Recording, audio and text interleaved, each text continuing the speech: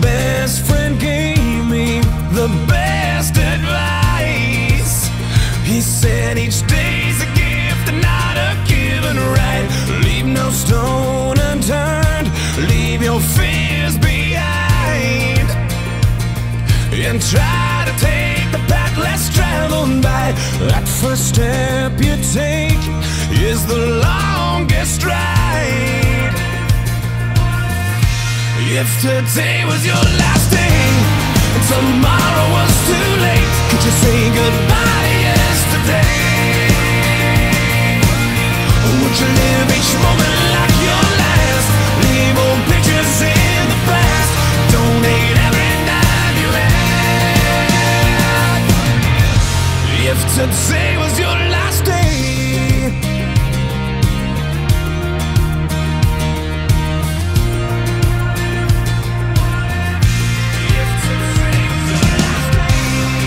Against the grain should be a way of life. What's worth the prize is always worth the fight. Every second counts, cause there's no second try. So live like you've never lived twice. Don't take